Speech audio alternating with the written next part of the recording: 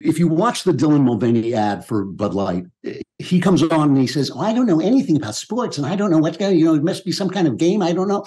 Now, my wife is one of the most feminine people I know. She doesn't know anything about sports. She doesn't talk anything like that because she's a grown up lady who just happens to have ladies' interests in the same way I don't talk like Moose McCoy because I happen to have male interests. You know, that's not the way women behave. He is not being a woman. He is doing a woman. He is everything about what he is doing is a show and a performance, and it's a, it's a conscious performance. He is not a woman. He is pretending to be a woman consciously and openly.